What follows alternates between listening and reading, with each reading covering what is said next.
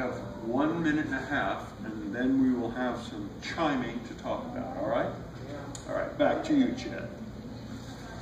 Oh, that just about wraps up the poppy clock talk. Poppy clock talk. We'll be back tomorrow at the same time. Poppy clock talk. Back back to Belle. What do you have to say? Any perform any dance performance that is reflected Hi there.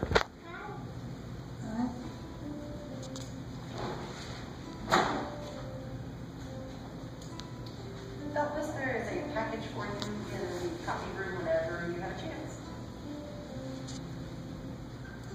I can sit in my, Are you guys doing the my con- Cadillac. Are you doing the conga line? Is this the conga line?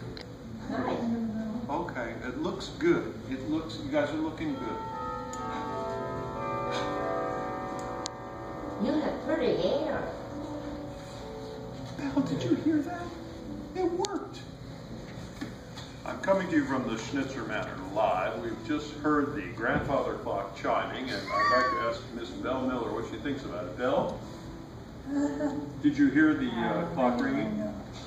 And uh, what, what, what did you think about the tone of the child? Okay, then we'll get rid of it. Oh, okay. It was uh, kind of.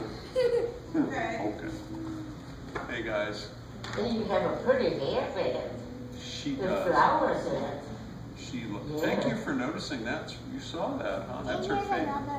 Oh, that's cute too. Yeah. And the cutest is you. Well, we think you're pretty cute too. Don't we?